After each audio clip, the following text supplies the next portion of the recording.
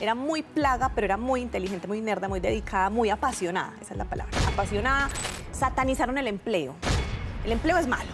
Para mí, a mí me parece que el empleo es malo. Si en el país hay tantas empresas exitosas y tantos emprendedores exitosos, ¿qué diferente tiene el que tiene éxito y el que no, si estamos en el mismo país?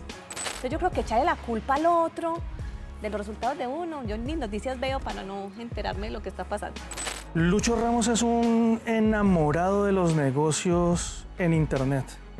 Dropi en este momento es la plataforma B2B de comercio electrónico más grande de Latinoamérica.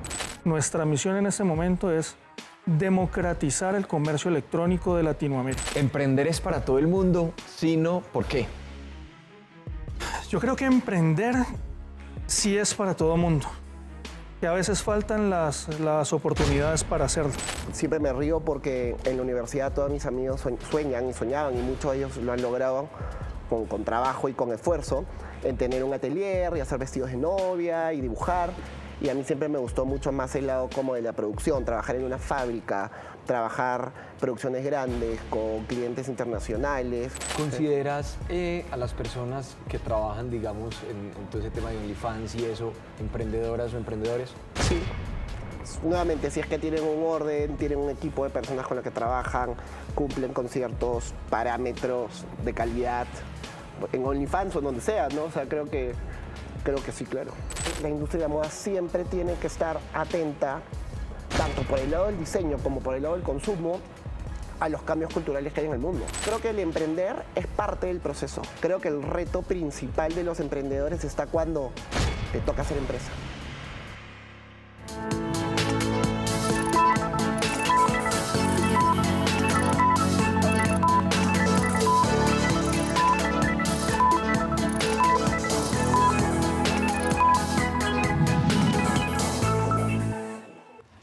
Bienvenidos a Negocios Cosmovisión. Estamos felices de estar aquí nuevamente con ustedes. Negocios Cosmovisión, recuerden, el podcast donde aceleramos los emprendimientos de nuestra ciudad.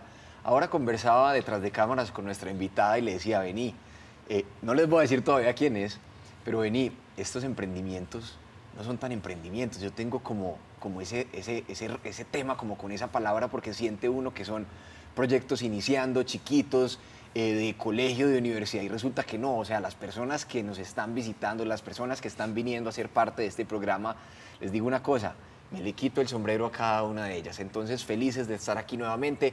Recuerden, quienes nos están viendo, quienes nos están escuchando, este es el podcast para acelerar los emprendimientos de nuestra ciudad. Yo soy Esteban Giraldo, líder de negocio de BK Network, una plataforma que hace de las buenas acciones un medio de pago. Hoy tenemos una gran empresaria que nos está aquí acompañando. Eh, ella es una persona muy especial, muy particular, llena de energía. Eh, tuve el placer, como les conté ahorita, de conversar un poco con ella, así que sin más preámbulo, les presento a Sara Montoya, cofundadora de, bueno, es que son muchas cosas, EFI en general, pero EFI Commerce, EFI Systems, EFI, EFIX, la feria de la que todo el mundo está hablando hoy en día, así, así que bueno, Sara, bienvenida a nuestro programa y muchas gracias por estar acompañándonos. Muchas gracias, feliz. Yo soy una apasionada por hablar, hablo demasiado, me, hacen ceñitas cuando vean que me estoy yendo mucho, me dicen ya, ya, ya, porque aquí nos quedamos tres horas. No, felices de estar aquí contigo, de verdad.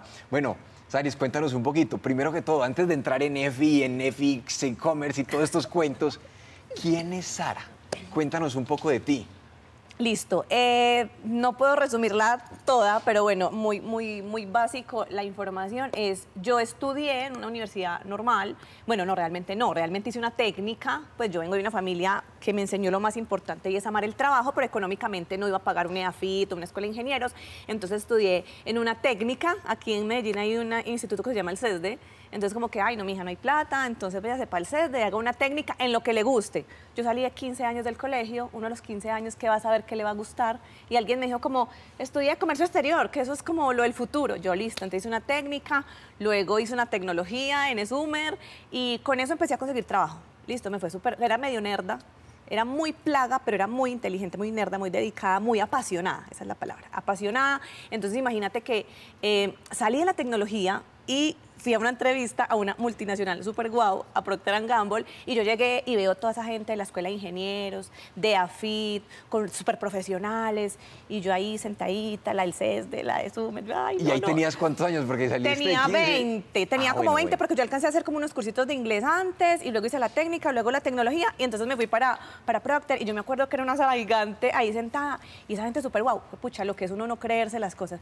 Y yo ya sabía que yo no iba a pasar. Yo dije, no, no, yo, yo al lado de esta gente tan tesa y una gente más adulta y no solamente adulta, sino con un perfil académico, incluso una posición y un estatus social diferente, que eso Claro, pesaba claro. y más en estas compañías. Y yo era ahí como, bueno, me hicieron la entrevista y yo, bueno, gracias por la oportunidad. Pues pucha, pasé. Éramos 27 personas, quedamos tres y luego quedé yo en el Wow. puesto. Mm, Fue horrible, yo también decía, wow, porque yo. Luego le pregunté a mi jefe, que lo amaba mucho, ya no trabajo con él, pero es una cosa espectacular. Le decía yo, ¿por qué yo? Y la respuesta que me dio fue, porque fuiste la única que me demostró con palabras la pasión que le pones a todo. Y ahí yo me di cuenta que eso era mi vida. Pucha, yo me empeliculo con todo, con la cosa más boba. Yo soy como, hey, vamos allí, que hay un camión descargando, vamos. O yo, le- yo me empeliculo con todo. Y ese día yo dije, pucha, no era de dónde venía, de dónde había estudiado, no era cuántos años tenía. Yo no tenía experiencia de nada, pues había acabado de salir de la universidad. Y, y fue esa pasión y esa empeliculada. Yo creo que soy muy empeliculada con todo. Pasé, trabajé en Procter Gamble seis años, de ahí me fui y trabajé en cadena SA otros seis años. Y ya en el 2015 empieza la historia del e-commerce. Ay, ay, ay, ahora sí que nos cuenten un poquito de ese e-commerce. Saris, vení, que es muy interesante eso que estás mencionando, porque muchas veces, ahorita dijiste algo, yo no me la creía. No, Yo vi ese salón de 27 personas. cero, cero. ¿Cómo hace uno, o, o- o de alguna forma, llámese que te la estés creyendo o no te la estés creyendo, cómo haces para ser tú misma, o cómo hiciste tú para ser tú misma y, y- y que esa persona, ese jefe, pudiese reconocer eso en ti? Yo creo que eso, yo creo, creo, yo no sé si los expertos en el tema coinciden conmigo, pero yo creo que tiene que ver mucho con la formación que me dieron en mi casa. En mi casa siempre fue como, tú eres la más. Así no lo fuera. O sea, yo en ese momento en esa entrevista yo no era la más, pero yo me creía, pucha, que iba a arrasar. Y yo incluso decía, yo no me la creo, pero yo voy a entrar a esa entrevista como mejor dicho si tuviera una maestría. Y creo que fue eso, convencerme a mí misma que aunque dudaba, porque no te voy a decir, pues que entré con la seguridad del mundo, no, yo entré cagada del susto, temblando ahí. Yo decía, "Jue pucha, yo puedo ser porque yo me lo merezco y yo lo soy. Creo que eso viene de la formación en mi casa, o yo no sé si uno nace con eso, pero yo creo que me empeliculé tanto con la entrevista y empecé a hablar, que yo sí hablo hasta por los codos, y el man no podía hablar, el man era como...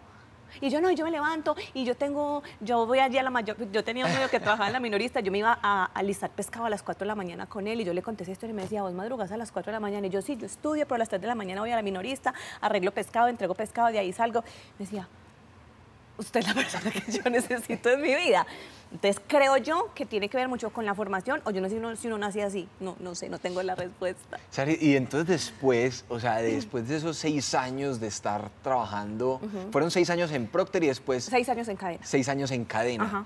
¿Cómo tomas la decisión o por- y, y por qué tomas la decisión de emprender? O sea, de dejar todo ese mundo atrás de, de- de la empresa tradicional. Sí, mira, eh, yo empleada lover. Yo nunca en mi vida, jamás pensé que yo en algún momento iba a dejar de trabajar, porque yo amaba, o sea, yo era la que entraba y podían ser las 10 y 11 de la noche, yo no me iba. En Procter Gamble yo tenía a cargo la importación de químicos para producir el detergente en polvo. Entonces yo importaba lo que se llama sulfato, sulfato de sodio y sin el sulfato de sodio pues la planta se paraba. Yo no me iba para mi casa hasta que yo veía que la montacarga ponía el Big Sac en la torre para que la planta no se parara. Listo, yo decía, yo nunca voy a dejar de trabajar en cadena, igual de en peliculada. Un día, en el 2015, ah bueno, yo en cadena pues obviamente tenía un buen salario, pero me gastaba el doble. Cero, cero educación financiera. Antes si me ganaba 4 millones, me gastaba 8. ¿Y por qué? Porque mira, yo vengo de una familia normal, pues no pobre, y pues ahí la historia dramática, no, una familia muy normal, donde los lujos nunca estuvieron. Y cuando yo ya empecé a trabajar y a poder comprarme mis cositas, yo empecé a querer tener un estatus que tenían el normal de mis compañeros, que eran con sus papás empresarios, eh, con una formación universitaria diferente, entonces yo quería encajar. Entonces yo era de las que me iba con mis amigas y mis compañeras para el tesoro y me, me gastaba un fin de semana 3 millones de pesos, pero me ganaba 4. Entonces empecé a- con un nivel de vida que yo no fui capaz de sostener. Ya vivía sola, cambié el carro, pues, o sea, todo mal. En el 2015 mm, yo me ganaba un valor y me- la tarjeta de crédito me chupaba todo el 15 porque ya no alcanzaba. Eh, hablé con alguien y ese alguien, yo le conté, yo, pucha, no, mira, es que tengo esas tarjetas de crédito hasta acá, qué pereza. Dijo, "Ah, pero vos trabajas en cadena, pues allá no pagan súper bien. Y yo sí, allá pagan súper bien, pero yo de irresponsable me gasto más. Y él me dijo, ah, yo le dije, entonces voy a vender el carro. Yo le dije, voy a vender el carro y me pongo a andar en bus o en metro para pagar esa tarjeta de crédito que me tiene cansada. Y él me dice, ay, no, qué pesar, usted pues como es de pinchada y usted que trabaja pues con esas empresas tan importantes, ¿cómo va a vender el carro? No, vendamos cositas por internet. Y esta persona estaba peor de quebrada que yo, debía como 400 millones de pesos y él me contó la historia, yo no, yo estoy en la gloria, yo debía apenas como 30 o 40 y yo no, no, no. Y me dice esa persona, vendamos cositas por internet. Pero espérate, entonces si vendamos cositas por internet, era vamos, busquemos proveedores y vendamos cosas, o tengo muchas de las cosas que he comprado en, No, en el closet no, no, guardadas y salgamos a vender lo que tengo acumulado que no estoy usando. No, ¿Cómo era fue? vamos al hueco con plata, con 300 mil pesos, literal, la historia es de verdad. O sea, esta historia es verdad. 250 mil pesos prestados, porque no era quincena, entonces a mí no me habían pagado y él también está súper pelado. Entonces dijimos, no, venga, consigámonos 200 mil pesos prestados, vamos al hueco y compramos esas mascarillitas negras que uno se ponía y le arrancaba la piel, le arrancaba como los puntos negros. No ¿Y sé por qué ese producto? Ay, pues porque estaba como de moda y no sé. Entonces, como que, no sé, una bendición de Dios, no sé qué fue. Entonces fuimos al hueco, 200 mil pesos, vamos a comprar esto y vea, eso se sube en internet. Entonces me decía Juan, que hoy es mi esposo y mi socio, pero en esa época no éramos nada, era simplemente un, un conocido. Y llega y me dice, vea, uno coge y toma una foto y le paga Facebook. Y yo, ¿a Facebook? Facebook es gratis. No, el suyo, el mío no, porque hay que pagarle a Facebook para que nos traiga gente. Yo no sabía, en el 2015 yo era la más ignorante en comercio electrónico, listo. Entonces yo, de una, vamos a hacerle. Y entonces, listo, eh, tomamos la foto y me dijo, usted se encarga de atender, y como yo toda la vida trabajé en logística, el man me dijo, vea, usted se encarga de las entregas de una, zapatero a tu zapato. Yo empecé a atender a la gente por WhatsApp y a hacer las entregas con una transportadora, si era a nivel nacional o con cualquier motorizado que me consiguiera en la calle. Y entonces, ok. Eso fue 2015. Yo- 2015. Yo, trabajando en cadena todavía. Y la, y la plataforma en la que empezaron fue, Excel. No, a montar, a montar los productos en Facebook, a vender a través Ah, de Facebook, Facebook. Facebook, Ok, sí, ok. Facebook normal, pero bobito pues, con un celular, una foto ahí sin luces y sin nada. Sí, no foto, no, No, foto en... pero cero, o sea, en un escritorio, la mascarilla ahí, pin, la foto. 3 por 20 mil. Y eso así. La historia resumida, porque si no aquí nos quedamos hasta por la noche, es, en dos años estábamos despachando más de mil pedidos al día. Ya íbamos a China. O sea, la resumí mucho. Pero en conclusión empezamos a ir al hueco, volvíamos. Entonces íbamos al hueco, comprábamos 12 y vendíamos 12. Íbamos al hueco, comprábamos 24 y vendíamos. Todos los días había que ir al hueco. Porque como no teníamos ni el capital, ni, pues, ni la infraestructura, pues era en una sala y una casa. Entonces, Todo de contado. decir porque no nos fiaban, pues quién te va a fiar a vos si no te conocen. Hoy sí le viene a uno en todas partes, ya en esa época no. Entonces eh, comprábamos y vendíamos, comprábamos y vendíamos, comprábamos y vendíamos. En dos años ya íbamos a China con plata prestada, obviamente. Le dijimos a los primos, a los tíos, a los amigos, pues también un millón, vos cinco, vos diez. Y entonces eh, recolectamos como, no me acuerdo, como casi 200 millones. Vámonos para China, que este negocio es en grande. Nos fuimos para China y ahí sí el negocio creció más. Y llegamos acá a, a Medellín ya con la mercancía, cuando llegó pues todos los contenedores y todo. Y todo mal. ¿Todo mal por qué? ¿Por qué? Nosotros vendíamos mucho, entonces todo el mundo era como, wow, y yo me creía, pues, ama, no, no, no, no, yo era, mejor dicho, el e-commerce del año. Pero imagínate cuando yo llegaba a la oficina, yo tenía que abrir en un Excel las ventas del día. Ese era mi, mi software administrativo. La plataforma de la transportadora. Habría WhatsApp Web, que ahí ya existía WhatsApp Web. Habría Shopify, que era pues la, la- la- la página web. Tenía que abrir como cinco ventanitas. O sea, tenías cinco pantallas pues para trabajar. Cinco pantallas y un cuaderno donde yo escribía las cosas importantes del día. A quién le debo, a quién me pagó, el flujo de efectivo de la compañía se llevaba en un cuaderno. Nos estábamos quebrando y no nos habíamos dado cuenta. Despachando mil paquetes diarios, 1500. Un día alcanzamos a despachar como 2300 después de un puente. Y todo el mundo como que, ¡wow! ¡Bravo! Los empresarios del año. No, no había para pagar la quincena. Las historias de que llega de PM a cortarte y que tú tienes que mostrar el celular, yo. EPM llegaba a cortar los servicios, yo era como, no, espérate, ya voy a pagar, voy a hablar con la persona encargada. No, no había persona encargada, era yo, pero no tenía plata. Claro. Pero estaba despachando mil paquetes diarios, o sea, no era lógico. ¿Qué estaba pasando? ¿Qué estaba pasando? Que tenía un desorden administrativo, logístico y financiero, la cosa más horrible. Y para rematar, el contador me renuncia. Porque es que ya te estoy Pero es que pues que no estaba haciendo el mejor de los trabajos. ¿o Ni sí? él ni yo, no. Y en el 2017, ah, bueno, ahí renuncié. En el 2017 renuncié a cadena porque yo trabajé desde Ah, ¿tú seguiste? Yo seguí, no dormía, no tenía vida. No, impresionante. Yo seguí trabajando desde 2015 al 2017 en las dos cosas al mismo tiempo. Bueno, pero a ver, entonces es un tema importante y sobre todo para los emprendedores que nos están viendo.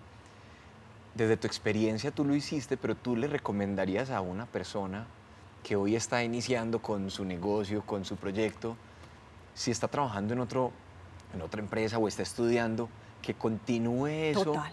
y que vaya manteniendo, sopesando las cargas, porque si no es echarse al, al vacío de una, ahí puede ser difícil desde el punto de vista comete- financiero. No, no, no, y se comete demasiado. Les voy a contar algo. No, yo no sé por qué, bueno, sí sé, pues también la época y la, la- esta generación satanizaron el empleo. El empleo es malo. Para mí, no. A mí me parece que el empleo es lo máximo. Y, yo- y ya no soy empleada, pero para mí el empleo es, muy bueno. Pero en esta época satanizamos el empleo, que no hay que trabajarle a nadie, que tus sueños cúmplelos solos. Mica, espere, si usted está trabajando, no renuncie hasta que usted tenga la tranquilidad de que por lo menos durante seis meses puede vivir de su emprendimiento. Sara, ahora te vamos a preguntar, es, queremos saber un poco más de EFI. Cuéntanos entonces cómo pasamos de ese punto de- del emprendimiento, de esa etapa a lo que hoy es EFI Grupo Empresarial y cuéntanos un poco esas líneas de negocio. Total. Y después vamos a entrar a una sección muy chévere que son preguntas picantes. Como yo me estaba quebrando, entonces ya había pasado por un montón de software y no había logrado como encontrar una solución, conocí eh, un software que se llama EFI Systems en el año 2017 y empezamos a hacer un desarrollo en conjunto. Y no nos quebramos por esto, o sea, casi. Estuvimos a punto de decir, no vamos más por el desorden administrativo que había. Llegó EFI, yo fui cliente de EFI dos años, yo no fui la fundadora, la que lo desarrollé. Steven Rivera es el, desarrollador de EFI. Y en ese momento empezamos a conectar todo el conocimiento que yo tenía sobre e-commerce con la capacidad tecnológica que él tenía. Y a- dos años después de ser cliente de EFI, de EFI Systems nace EFI Commerce. EFI Commerce es la unión de EFI Systems, que es un ERP super wow, no solamente para e-commerce, sino también para negocios tradicionales, y todo el conocimiento que teníamos nosotros en el 2019, que todavía el e-commerce era tan, tan, tan fuerte, y nace EFI Commerce, que es el segundo, eh, la segunda empresa del grupo empresarial, y luego nace EFIX, que es ahí pegadito. Resulta que Santi Ospina, eh, dueño de Ex Hobbies, fue, es cliente de nosotros, era cliente de EFI, nos dijo, no, ese proyecto es una nota, montemos una empresa juntos o hagamos algo juntos y nace EFIX, que es la feria. Entonces todo se desencadenó desde un emprendimiento en una sala vendiendo cositas por internet, se suma un ERP o un software súper teso, se suma un man que es un visionario que es Santi, llega a la feria EFIX, que Juan David un día dijo, vamos a montar una feria para cambiarle la vida a la gente. Santi dijo que sí, todos dijimos que sí. Y aquí estamos sentados. Y aquí estamos. Saris, una pregunta. Señor, Eh, eh, EFI Commerce. listo. En esa necesidad que yo tenía como e-commerce en ese momento, entonces decimos, venga, necesitamos un lugar donde esté todo junto. Yo no puedo abrir un Excel donde están las ventas, yo no puedo mirar dónde está la transportadora, yo no puedo mirar cuánto le debo al chino, yo no puedo mirar por otro lado cuánto le debo al del hueco y en un cuaderno cuánto vendí. Entonces llega Efi y empezamos a contarle todas esas necesidades y fue como magia, fue como magia porque era súper lindo el tener todo, todo como centralizado. Entonces, desde la compra que hacías en China o en el Hueco o en San Victorino o en Cali, donde fuera que compraras, cuánto debías, cuánto te debían, qué inventario. Te voy a poner un ejemplo. Pasa, me pasaba mucho. Yo decía, ay, voy a vender este producto. Y los muchachos de la bodega me decían como, Saris, pero es que no hay. Ay, qué pesar, no hay. Pero es que en la página web aparece que hay 500. Y por allá a los tres meses aparecía una caja perdida del producto que sí había. Entonces, Claro. con Eficommerce, ¿qué logramos hacer? Integramos todo y es muy lindo porque fue con base en una necesidad real. Porque yo cada que necesitaba algo, yo le decía a Steven, Steven, ponele esto, intégrate con Shopify, poneme esta transportadora, hazme un favor y que cuando alguien escriba un WhatsApp, que él se le dispare este mensaje. Y todo está en un solo lugar. Creo que lo, que lo que lograron ustedes ahí consolidar es un producto que nace realmente de la necesidad del cliente. Ojo, la importancia de eso, porque es que una cosa es lo que uno como emprendedor se imagina o se sueña, Otra cosa es cuando te chocas con la realidad del cliente. Y te voy a decir algo que yo creo que romantizar es una palabra muy peligrosa. Y el comercio electrónico está romantizado. Porque a ti te llegan y te dicen, vuélvete millonario vendiendo por internet y te cambia la vida. Y no es tan así. Arrancar es muy fácil, o sea, hacer una campaña por internet, pues haces un curso de algún mentor o haces una capacitación, lo que sea. Pero montar un e-commerce no es vender cositas por internet. ¿Qué es vender cositas por internet? Para las personas que de pronto están nuevas en el gremio. Escoja una foto, tome, la monte una campaña y haga una guía. Eso no es un e-commerce profesional. Entonces ahí fue cuando nosotros dijimos, venga, ¿qué queremos? Queremos simplemente que nuestros clientes, esta, esta cifra es muy peligrosa, la voy a decir. A ver, pues. El 60%, mm, yo creo que un poquito más, yo trato de ser discreta, el 60% de los comercios electrónicos no son capaces de seguir. El nivel de deserción está por encima del 60%. Es decir, de 100 personas que arrancan, solo 40 son capaces de seguir, de ahí solamente un 20 viven más de seis meses y solamente aproximadamente el 5% perduran más de un año. ¿Esto qué significa y por qué pasa? Ay, tan de malas, ay, del gobierno. No, no, no le eche la culpa al que no la tiene. La culpa es de cada uno. ¿Cuál es la diferencia? Yo creo que es administrar un e-commerce de forma profesional desde el día uno. Así usted esté solo en la casa, en el comedor, en su casa, haciendo sus campañas, haciendo sus guías. Usted tiene que saber cómo está su flujo de efectivo, tiene que saber cuánto se le demora el dinero en volver a su bolsillo para que usted pueda sostener el bolsillo. Usted tiene que saber en qué ciudad vende más, en qué ciudad vende menos, qué producto, el producto que usted más vende no es el que más plata le deja. Posiblemente el que menos vende es el que más margen le da, pero eso no lo enseñan en ninguna parte. Entonces las personas, bueno, para eso es la feria. Para eso es la feria. todo. Y a nivel tecnológico, que quieran consultar, que quieran entrar a conocer, que estén pensando en empezar a vender eh, en línea, ¿qué, qué consejo, qué dónde les podría recomendar? Mira, yo no vendo cursos ni nada y yo soy enemiga de que la gente pague millones y millones y millones de pesos para arrancar. O sea, hay un montón de cursos que valen 10, 20, 30 millones de pesos y una persona que ni siquiera entiende qué es un píxel. Entonces, recomendación, YouTube es una cosa maravillosa. Google, y eso es gratis. Antes de pagar, antes de tener una inversión económica y académica en algo, vayan a la feria. La feria vale 100 mil pesos tres días. O sea, eso vale un almuerzo, menos de un almuerzo. Entonces, aprovechen todo lo que hay gratis y a partir de ahí, apalánquese de personas y de empresas. No tiene que ser EFI, cualquiera. Hay muchas empresas muy buenas que no simplemente les enseñen a hacer una guía y esperar a que Dios los bendiga, porque eso no es hacer un e-commerce. Por eso EFI, incluso en el gremio, la gente dice, ay, es que EFI es muy difícil, ay, es que eso de Excel, ay, yo no sé. Posiblemente si usted no sabe y no quiere aprender es porque usted va a estar en ese 70% que mueren. Pero los que sí quieren, a mí me, me dice, es que hay que manejar Excel. Obvio, o es que usted cree que las grandes empresas, ¿cómo sacan un informe financiero? Claro, con Power BI hay aplicativos obviamente más avanzados, pero si usted está arrancando, mínimo tiene que aprender a sacar su porcentaje de evoluciones. Total. Tiene que saber cuánta plata le dejó, tiene que saber cómo está estoqueado de inventario, tiene que saber cuánto se ganó, si está quebrado como estaba yo casi en el 2017. Pero como hemos romantizado tanto el comercio electrónico, ay, no haga una campañita y despache una guía. Así no es, y EFI promueve hacer el comercio electrónico de forma profesional. Bien hecho. Bien hecho. Saris, venga, metámonos en las preguntas picantes porque es que tú nos advertiste, conversó mucho, todo esto está espectacular. Yo sé que un programa no nos alcanza, No lastimosamente, pero vea, dos preguntitas muy puntuales Hágale. para ti. Y las vamos a escoger Ay, así como quien dice a dedo. Pura democracia. hágale pues. Bueno, a ver, es cierto, yo creo que ya sabemos de acuerdo a la historia que nos has venido contando Ajá. la respuesta, pero es cierto que para poder emprender en este país se necesita la famosa rosca. Cero, cero, cero, pero cero, cero, cero. Sirve sí. Y si no solamente en el emprendimiento, en todo. Pues la rosca, yo lo vi en Procter, lo vi en cadena. O sea, eso sirve, pero no es una, una- una ley.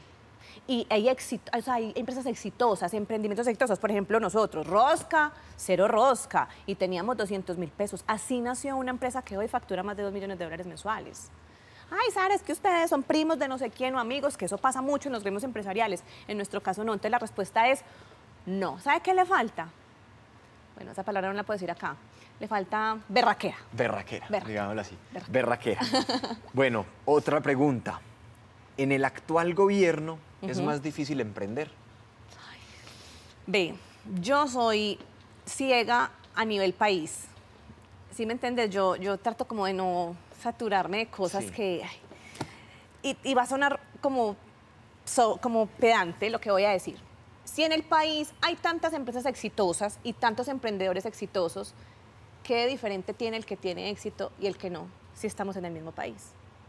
Entonces, que, que- la culpa del gobierno actual, ay, posiblemente sí, eso afecta un poquito, pero ¿por qué hay emprendimientos y empresas que sí lo logran y otros que no?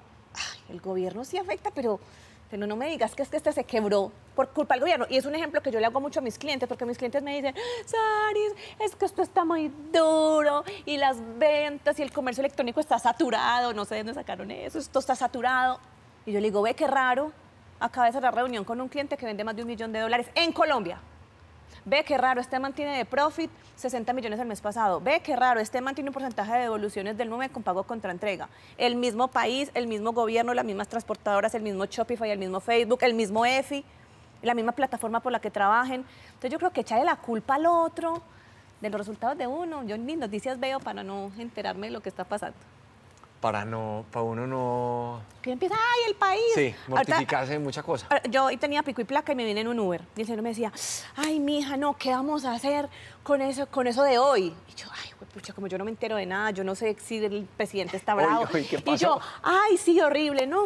¿Y cómo va eso? Y yo seguí la corriente y afortunadamente en la radio dijeron que el paro de taxistas... Ni idea. No te has enterado. No me entero de nada, porque yo tengo mucho que hacer, enfocada, y como yo soy así apasionada, mi sangre dice EFI por todas las venas, entonces yo trato de enfocarme en lo que puedo controlar y no en las cosas que no. Bueno, otra pregunta picante. Hágale, hágale.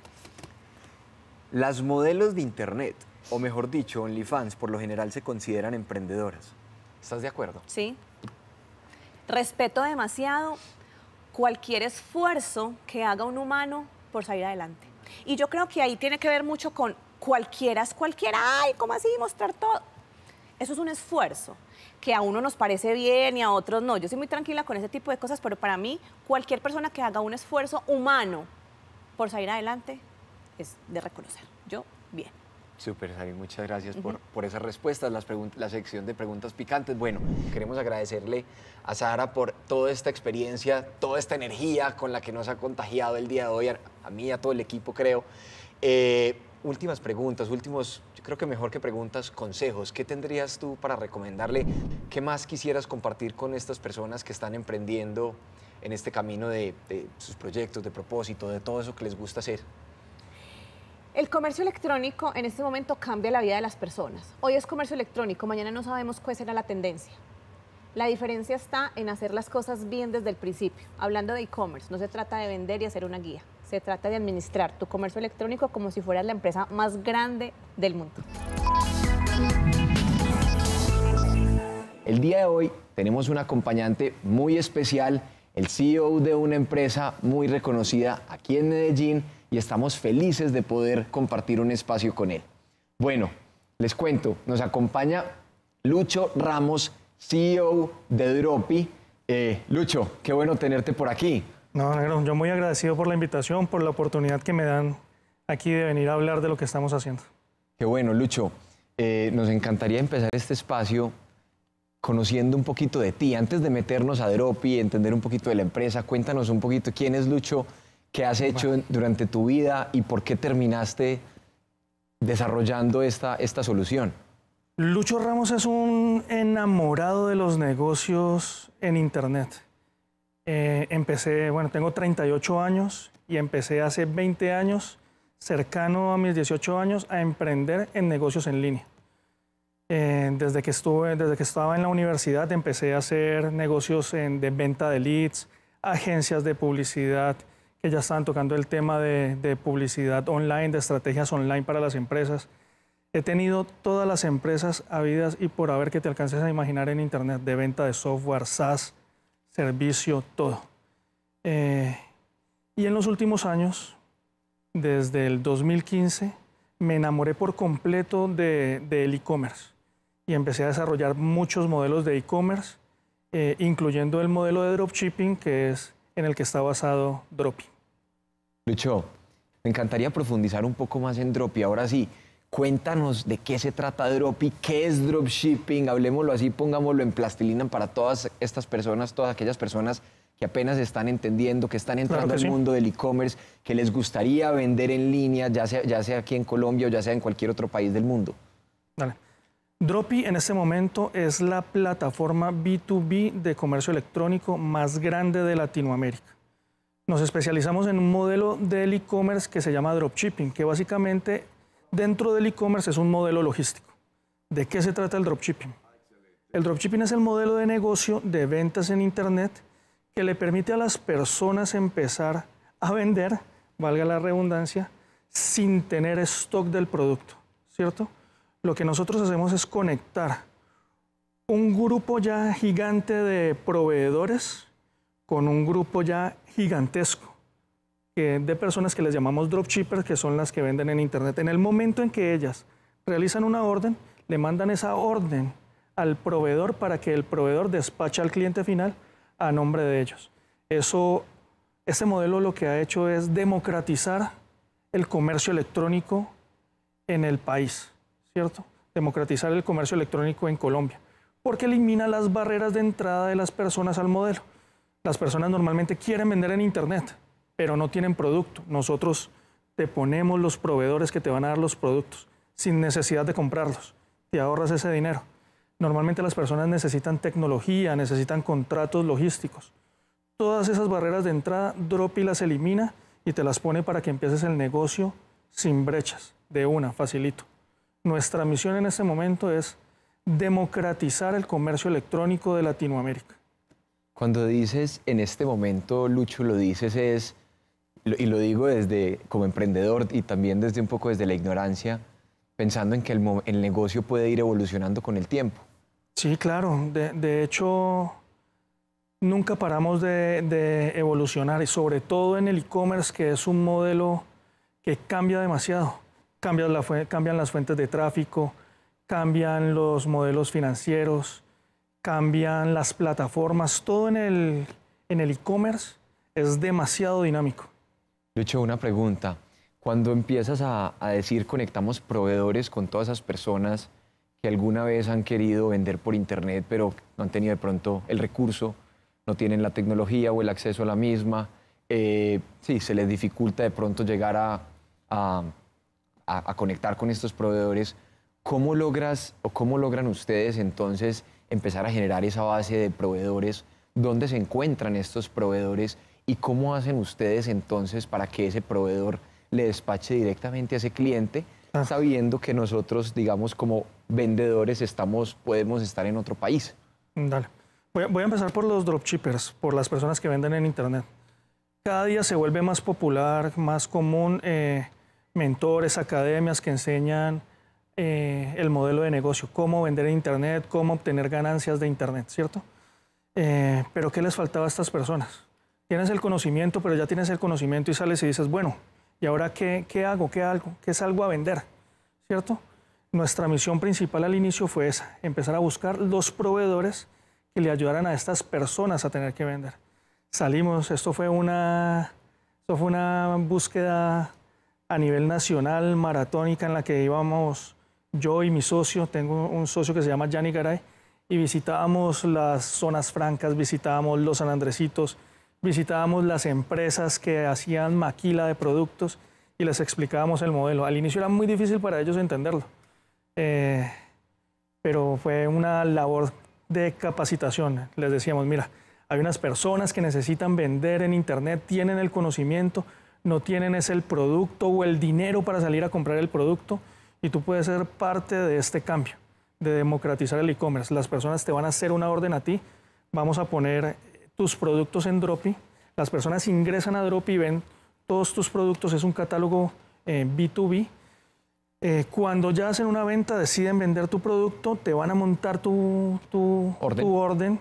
Tú tienes un dashboard, tienes un panel donde ves las órdenes y le despachas al cliente final.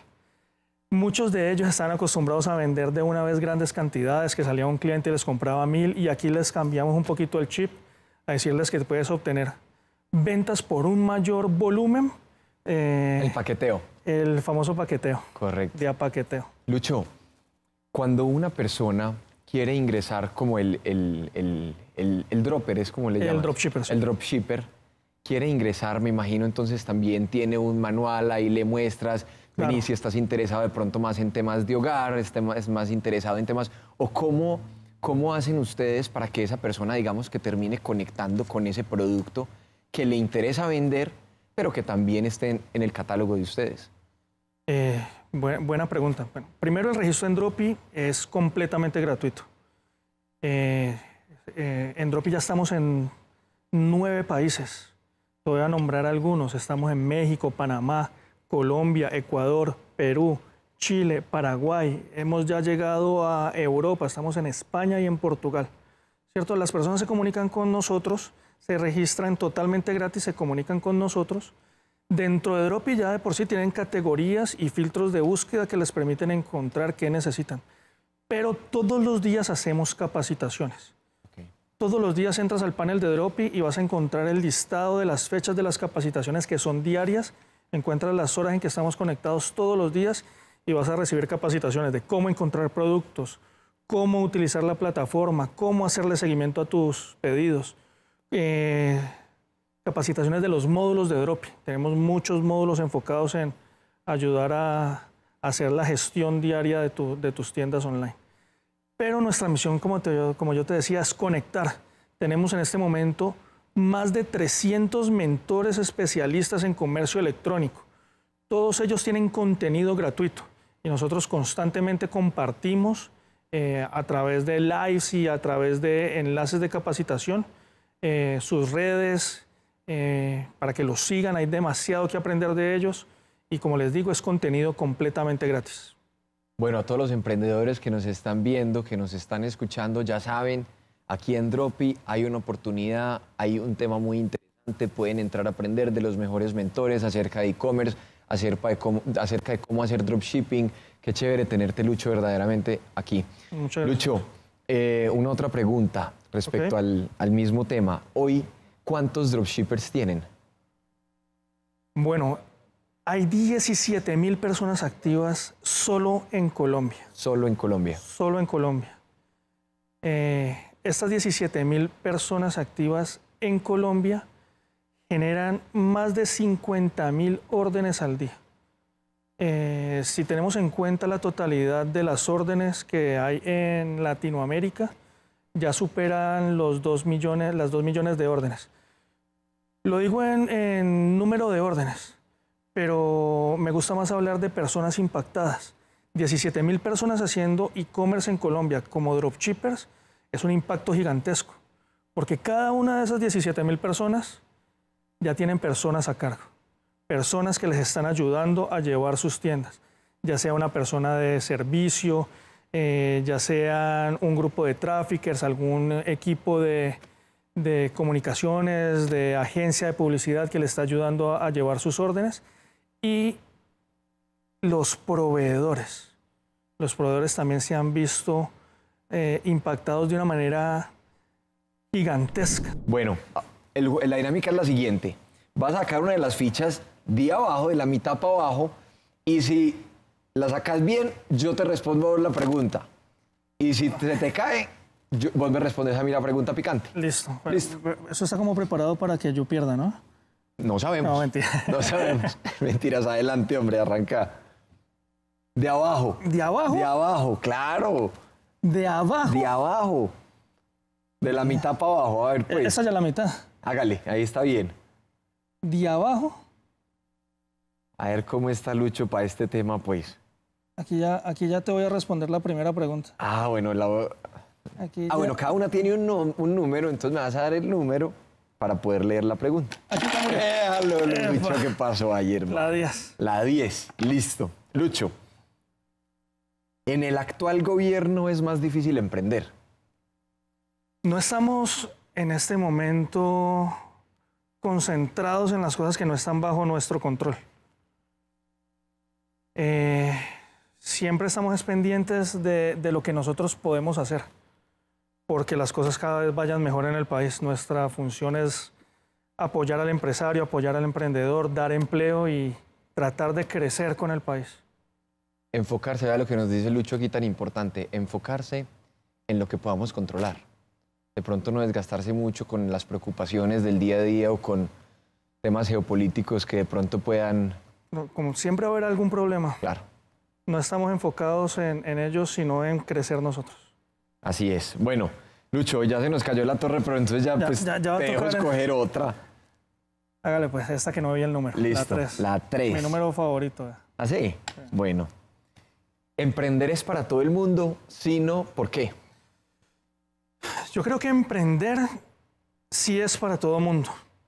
Que a veces faltan las, las oportunidades para hacerlo. Por eso me gusta tanto el el e-commerce, porque creo que el, el comercio electrónico es el modelo de negocio más democrático que existe en el mundo. Y le permite a, pe- a cualquier persona con alto conocimiento, sin conocimiento, con una carrera universitaria, sin, con poco dinero, con mucho dinero, empezar. Es supremamente democrático. Creo que faltan oportunidades, estoy trabajando para generar esas oportunidades en el país. Qué bien, Lucho. Y venga, una última preguntita de estas picantes para seguir a, a la siguiente actividad. Hágale. Bueno, Ahí te, te las cojo aquí. Hágale. Esta que no se ve. esa que no El sé. siete. El 7. ¿Cuántos colaboradores tenés, Lucho? En Colombia ya somos alrededor de 350 personas. Tenemos una operación eh, logística también muy grande que requiere mucho recurso humano. Eh, pero si ya tomamos toda eh, Latinoamérica y Centroamérica, podemos ya ser más de casi 500 personas. Casi 500 personas. La pregunta dice, ¿cree que sus colaboradores reciben un pago justo? Nos enfocamos mucho en eso, eh, en tener buenos salarios y tener también oportunidades de crecimiento dentro de la empresa. Hay algo que hacemos nosotros dentro de Dropi y es que le exigimos y enseñamos, procuramos, queremos que todos hagan comercio electrónico también. Nuestros directivos, nuestros ingenieros hacen el modelo de negocio. Eso les permite tener también algo que, una palabra que me gusta mucho en este modelo, que es la empatía. Si tú no entiendes lo que estás haciendo, ¿cómo vas a ayudar a otra persona a hacerlo? 100%. Lucho, eh, ¿cuántos, digamos que hoy cuál es el producto más bien más vendido en Dropi si, si lo llevamos a una categoría? Dale, eh, la categoría de belleza y cuidado personal es una de las categorías que más genera órdenes al día. Belleza y cuidado personal. Bueno, ya saben, quienes quieran emprender, ahí hay una oportunidad chévere, hay buena demanda por, por ese tipo de productos. Recuerden, emprendedores, si están viendo esto, recuerden, pueden ingresar a cosmovision.com, donde van a poder inscribirse, participar, ser parte de este gran programa y poder compartir un espacio con empresarios como Lucho. Lucho, eh, quiero continuar preguntándote un poco sobre esa trayectoria, sobre ese modelo, sobre todo eso que han venido construyendo. Una pregunta que, algo que no hemos tocado, ¿cómo es el modelo de negocio de Dropi? Es decir, Claro ustedes terminan, imagino yo, cobrándole al proveedor o terminan cobrándole al, al- al vendedor o a ambos. ¿Cómo funciona ese modelo de negocio? Hemos hecho el modelo de negocio gratuito para todas las personas que participan en él y nuestras ganancias vienen del modelo logístico. Nosotros generamos un volumen gigantesco para las empresas logísticas y recibimos una especie de cashback sobre la facturación total de que ellas generan. Entonces, estamos ayudando a todo el mundo a crecer. Nuestros usuarios crecen, los proveedores venden más, las transportadoras han aumentado muchísimo sus órdenes gracias a Dropi y de ellas es que nosotros eh, obtenemos nuestro modelo de negocio. ¿Quién iba a creer sobre el modelo logístico? Muy interesante. Personalmente, pensando en, lo que mencionabas ahorita de la democratización, de que las personas puedan entrar a vender en las redes sociales, pensé que iba a ser desde los proveedores. Nos- nunca se les ocurrió, Sí, pero el, el proveedor en el modelo de, de dropshipping eh, sacrifica mucho y queríamos también ayudarlo. Nuestro modelo es un modelo que es contraentrega. Las personas en su mayoría eh, pagan al recibir el producto y esos tiempos de entrega, de no tener de una vez el cash del dinero, el dinero ahí de una en cada venta, eh, era difícil para ellos. Entonces también el propósito era ayudar a todos los participantes y por eso decidimos eliminar las comisiones de nuestros proveedores. Lucho, respecto a ese tema, ¿Cómo se están viendo ustedes en los próximos años? ¿Hacia dónde creen que va a estar evolucionando este modelo? Eh, ¿Creen que se puede mantener la relación con los proveedores? ¿Van a poder incrementar esa base de proveedores, seguir incrementando esa base de dropshippers? ¿Hacia, dónde están viendo el negocio en los próximos cinco años? Cuando me hiciste la pregunta, hasta suspiré, no sé si, si viste. si hace cinco años me hubieran preguntado a mí en dónde estaría, seguramente no, no estaría donde estoy. Eh, hubiera dado una respuesta totalmente equivocada. ¿Qué sí te puedo decir? El, el, modelo de negocio está demasiado joven en Colombia y en Latinoamérica. Eh, en países donde ya está más maduro el modelo, todavía es muy rentable. En Estados Unidos, que es donde más personas haciendo el modelo hay, eh, el modelo todavía hace cada mes, todos los días, personas millonarias. Y eso que en Estados Unidos tienes un montón de marketplaces, tienes Amazon, eBay, Etsy, Walmart, Chain, ahora Temo, hay un montón de marketplaces y aún así hay mucho espacio para el modelo de negocio del dropshipping. Qué bien. Si es así en un país que ya está uh, saturado, llamémoslo un poco más saturado, Imagínate en Latinoamérica donde apenas estamos empezando. Nos quedan de verdad todavía muchos, muchos años de crecimiento. Hoy traemos un invitado muy especial, el, CEO, como le llamamos nosotros, pues en este caso es un consultor experto en moda que está aquí acompañándonos. Ahora vamos a darle la bienvenida pero antes de, quiero recordarle a todas las personas que nos están viendo, que nos están escuchando, todos los emprendedores de Medellín, no tiene que ser de moda puntualmente, eh, cualquier tipo de emprendimientos, que por favor vayan a cosmovisión.com, que se registren, que participen, que interactúen con todos los emprendedores, con los CEOs que nos van a estar acompañando. Bueno, sin más preámbulo, quiero darle la bienvenida a Mateo Cedrón, consultor y experto en moda, quien tenemos el gusto de que nos esté acompañando el día de hoy en Negocios Cosmovisión para que hablemos un rato de moda. Les digo de una vez, yo no sé mucho, aquí voy a meter la pata varias veces, están advertidos. Pues nada, Mateo, bienvenido, gracias por estar aquí. Gracias por la invitación y nada, acá para compartir un poco de conocimiento y todo lo que les pueda ayudar. Contanos quién sos vos, qué está haciendo Mateo, quién... A uno siempre le preguntan, ¿quién es Mateo? Va a decir cualquier cosa y uno responde, soy eh, curador de moda, me estoy inventando cualquier cosa. Pero realmente eso sí es lo que es uno, eso es lo que hace uno. Claro. A ver, les cuento. Yo estudié diseño y gestión de moda con una mención en producción, que creo que es como un poquito el diferencial.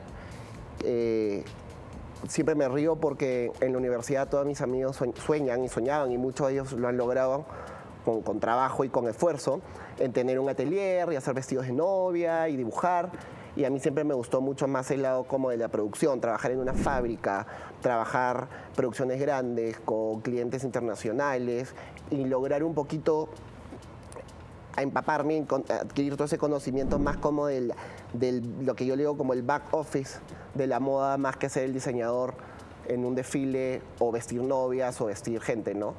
Entonces yo me especialicé un poco en eso. Ya si bien tengo 31 años, comencé a trabajar desde, desde chico, tuve la suerte de que uno de mis primeros trabajos me puso de una a trabajar con clientes americanos. He trabajado con marcas súper grandes como Derek Lam, ATM, eh, marcas argentinas como Sofía Sarcani eh, y aquí un montón de marcas grandes. Entonces siempre estuve como de una un poco me, me lanzaron a los tiburones, como decimos, y aprendí un poco este ritmo, este orden, estas necesidades y este lenguaje que en verdad tiene el mundo de la moda, que es un poquito el lenguaje que no mucha gente comenta. ¿Y cuál es el lenguaje? Interno, ¿no? Pucha, creo que es el lado menos romántico, podría ser de la moda, que es el lado más de producción, de tiempo, de ejecución, multas si no cumples con ciertos parámetros con clientes eh, extranjeros, estándares de calidad distintos a los nuestros, eh, los tiempos, o sea, los tiempos de producción son una locura. Si tus telas se pueden demorar, no sé, 100, días en llegar de Portugal, si se llegaron acá, ¿qué pasó en el puerto? ¿Por qué no sale a aduanas? Entonces, todo eso, todo ese como ruta tan compleja que realmente tiene el mundo de la moda y mucha gente no lo ve. ¿Y por qué te enfocaste tú en ese de la producción, en ese de la fábrica, en ese, en ese de a trasnochar? Porque me gusta, o sea, a mí la adrenalina de la fábrica me encanta. O sea, estar sentado en un escritorio dibujando me parece lindo, me parece divertido, pero no tengo la paciencia. No dibujo tan bonito tampoco. pero bajarme al taller, Espérate, espérate que ahorita que dijiste lo del dibujo, este me acaba de acordar una cosa, es que este man canta. no, no, eso es mentira, eso es mentira, no canto, eso es falso. Me, han- me- me has querido, me he caído, me he caído en tu, en tu trampa. Que feria de flores, No. que no sé qué, mentira, sácalo. Seguí, entonces. Y encuentro en ese, en ese reto también como, oye, hay que hacer 700 polos, 700 unidades. Este es, este es el rango de precio. ¿Cómo hacemos? ¿Cambiamos material? No, tienen que hacer el mejor algodón. Veamos la ruta de producción. O, Mateo, anda a buscar un botón morado con un puntito amarillo y paséate en Colombia por todo el hueco. Vete a, a la cacharrería Bombay y yo Hágale. hágalo. O sea, y, y e- ese, creo que ese ímpetu como de lograrlo es un poquito lo que me llevó a, a- a este mundo de, de la moda del otro lado, que en verdad los tiempos son, son una locura. Bueno, ahora sí vamos a seguir con las preguntas picantes, las buenas de este programa, aquí con Mateo. Son fáciles. ¿Qué tan picantes son? No, no, no, están suaves, es picante suave. Nada de, no, picantico suave. Oíste, eh, ¿consideras a un influencer un emprendedor? Sí. O sea, considero que, que hoy en día hay equipos de influencers que tienen contadores, gente que les produce el contenido. Y, y claro, o sea, es una empresa, finalmente, ¿no? ¿Consideras eh, a las personas que trabajan, digamos, en, en todo ese tema de OnlyFans y eso, emprendedoras o emprendedores? Sí. Nuevamente, si es que tienen un orden, tienen un equipo de personas con las que trabajan, cumplen con ciertos parámetros de calidad, en OnlyFans o donde sea, ¿no? O sea, creo que, creo que sí, claro. No. Bueno, eh, una pregunta, yo sé que no eres colombiano, no sé qué tan empapado estás, eh, digamos, de la, del, del tema político, tú sabes que aquí es, Sí. bueno, en Perú estamos también Estamos en una en ruleta. misma, sí. Eh, ¿Consideras que con este gobierno es más fácil emprender? No, no considero que sea más fácil emprender. Creo que el emprendedor siempre enfrenta las, las adversidades finalmente, ¿no? Creo que puede ser que hoy en día la gente se con un poquito más de miedo al gasto, que se con un poquito más del miedo al- a, consumir ciertas cosas, pero creo que el acto de emprender, de formar empresa y hacer el, el proceso, no considero que esté afectado directamente por el gobierno, más allá de, la, de que puede ser que las ventas sean un poquito más complejas, ¿no? Bueno, y una última para rematar, no es picante, mira que no es tan picante. Me asustaste. Eh, pan de... Ya. Oíste, ¿dónde te ves en 10 años? Uy. En 10 años me veo, espero, trabajando para, para marcas igual de, la- de las de lo importantes que he trabajado. He tenido la suerte, como te comenté, en Colombia de entrar por la puerta grande con el grupo Agua Bendita. Y eso, seguir trabajando, tener una familia, tener mi casita, sea aquí en el Retiro en, En el Retiro, o muy en bien. Perú. y, y tranquilo, tranquilo. Tengo 31 años, o sea que 10 años todavía voy a seguir produciendo, espero. Tenemos unas preguntas aquí muy chéveres que las diferentes personas nos han estado compartiendo del público en los últimos días, así que Mateo, voy a empezar con las preguntas del público. ¿Listo? Perfecto. Hola Mateo, ¿tú cantas? mentira, mentira. En la ducha. Mentiras. Vea, ahorita incluso estamos conversando de este tema, pero mira qué interesante. Mateo, ¿estás de acuerdo con el fast fashion? Yo estoy de acuerdo con el fast fashion y es súper controversial mi, mi posición y muchos de mis colegas probablemente me ahorcarían si me escucharan decir eso. Pero creo que el fast fashion, primero tenemos que entender que hay mucha gente que no puede comprar prendas caras. Entonces el fast fashion está también de ese lado para vestir a una cantidad de la población que no puede consumir productos de lujo, para arrancar. Entonces por ahí creo que es necesario y es justo. Y por otro lado, por un lado más personal, creo que también es como, es rico ponerte un polo de repente, no sé, de H&M o, de Zara y comprarte un par de zapatos finos. Esto que es una prenda, por ejemplo, colombiana, una marca linda que se llama La Petit Mort, súper bien trabajada y tengo un polo de H&M. Entonces, ese, ese como conversar entre, nuevamente, estos dos lados de la moda, creo que es súper rico. Hay que ser responsables con el consumo. Creo que hay que ponerle límites a marcas muy grandes como el Grupo Inditex, etcétera, en cuanto a polución y en cuanto al, al maltrato al trabajador y, y el fair trade, digamos, ¿no? el pago justo por el, por el trabajo. Eso se tiene que corregir y, y se tiene que hacer. Pero sí estoy de acuerdo con el fast fashion. Bueno, para ti, ¿cuáles son los mayores desafíos que enfrenta la industria de la moda? Yo creo que la industria de la moda, al estar tan, tan ligada con la cultura y con los movimientos culturales, y finalmente, si no tienes, la economía no está buena, más te va a preocupar comer y estar sano que vestirte. Entonces creo que la industria de la moda siempre tiene que estar atenta, tanto por el lado del diseño como por el lado del consumo, a los cambios culturales que hay en el mundo. O sea, nos tenemos que vestir. Es una industria que no, que no va a caer. Es una necesidad básica, dependiendo entonces en, en la, en la pirámide como marca o como persona que tan consumidora seas, la moda está ahí. Entonces, creo que es una industria que, que- enfrenta cambios constantes, ¿no? Aquí hay un montón de emprendedores de la ciudad, tú sabes, Sí. que nos están viendo, nos están escuchando. Dos, tres con- consejos claves, aquellos que quieran, no sé, empezar en el mundo de la moda o que ya estén, digamos, con proyectos eh, en proceso en el mundo de la moda. ¿Qué consejos generales podrías darles? Yo creo que hay un consejo que siempre lo pienso en- con los emprendedores y no solo en la moda. Y corrígeme si es que estoy eh, erróneo, pero creo que el emprender es parte del proceso. Creo que el reto principal de los emprendedores está cuando te toca hacer empresa. O sea, emprendiste, te fue bien con tu negocio, estás creciendo. Ese es como para mí el reto, el sostenerse en el tiempo, ¿no? Ya no te das abasto con tres personas, necesitas con- contratar a alguien más, o tu taller ya te queda chico. Alquilo un, un hangar, contrato a gente en planilla, mi repartidor, necesito otro. Creo que ese es el reto, como tener presente desde el inicio de tu emprendimiento la capacidad que tienes de crecer y las ganas que tienes de crecer. Porque de repente eres un emprendedor joven que te vacilas y no es tu, tu, tu, modo de vida. Entonces también es respetable que, tu emprendimiento se quede chico, ¿no? Yo pienso en eso, de ahí en que encuentren un factor diferencial, porque ropa bonita, cosas bonitas a diferentes precios y a todos va a haber, competencia siempre va a haber, pero ¿qué te diferencia a ti? ¿Por qué tu producto es único? ¿Por calidad? ¿Por diseño? ¿O porque de repente tienes un super equipo de marketing y lo saben manejar? Yo creo que esas dos cosas son como súper importantes. Y tercero, yo creo que es básico compartir el conocimiento entre, entre, entre empresas, entre amigos, entre gente y escuchar, escuchar a la gente que está alrededor tuyo. Yo creo que eso es Genial, básico. bueno, emprendedores ahí lo tienen. Mateo, muchas gracias por el No, espacio, de por verdad la que invitación, un gusto. de verdad que honrados de tenerte por aquí y bueno, esperamos Gracias tenerte nuevamente en y un futuro. Espero.